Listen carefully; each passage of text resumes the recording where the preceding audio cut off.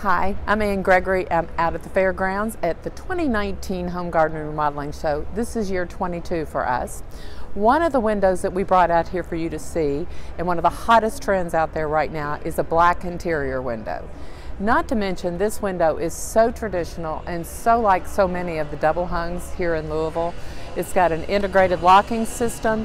When you open the window and, and you close it, it locks on its own. It's a beautiful window and it's all the rage right now.